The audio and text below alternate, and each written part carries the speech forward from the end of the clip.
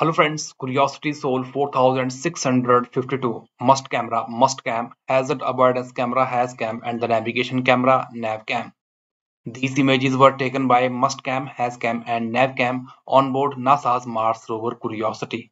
Curiosity rover captured most of these images on 11 September 2025, the 4656th Martian day or sol of the Curiosity rover mission on Mars.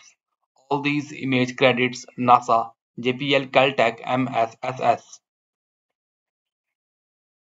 As of September 2025, NASA's Mars rover Curiosity is located in the Gale crater on Mars, exploring and tracking the foothill of Mount Sharp on the red planet Mars.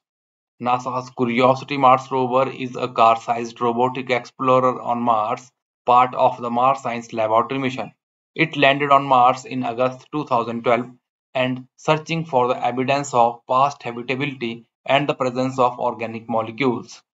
Curiosity Mars rover was built by NASA's Jet Propulsion Laboratory, which is managed by the Caltech in Pasadena, California. JPL leads the mission on behalf of NASA's Science Mission Directorate in Washington. Malin Space Science Systems in San Diego built and operate Mastcam. A key objective for Curiosity's mission on Mars is astrobiology, including the search for signs of ancient microbial life. The rover will characterize the planet's geology and past climate, pave the way for human exploration of the red planet.